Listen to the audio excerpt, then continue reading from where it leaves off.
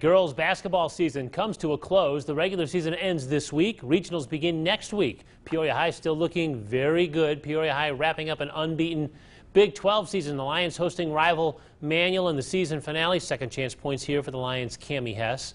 And then after steal, Aaliyah Guyton with a nifty assist on the Paris Wilson hoop here.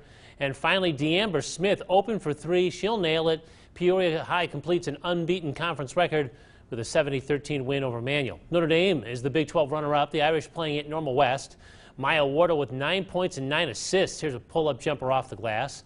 Nice play here by the Wildcats. Ashley Wilcox saves it from going out of bounds, gets it to Moni Howard, who is money with that three. But Notre Dame is too strong. Freshman Julia Mingus from the corner helps the Irish win on the road at Normal West, 50 to 38.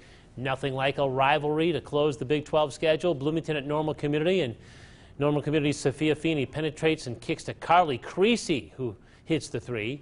Bloomington with a nice give and go. Marissa Hilt to McKenna Grissinger back to Hilt for two. Well done. But Normal Community's Gianna Rawlings shows off her range again. A three from the wing and a 61 32 iron victory over the Raiders. Number one ranked team in Class 1A, Brimfield, closes the regular season with a big win. Elin Peterson backdoor to Ella Loon, hoop and foul. Loon scored 24 points. This time it's Loon to Peterson, other way around. Peterson dials in a three. She scored 10. And Brimfield is 25 and 4 right now. Great ball movement here. Ellie Doe to Ella Loon to Jacqueline Fabry.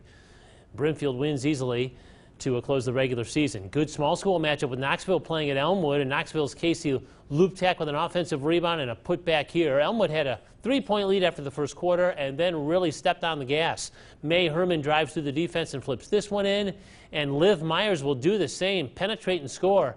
56-35, that's win number 23 on the season for Elmwood in impressive fashion.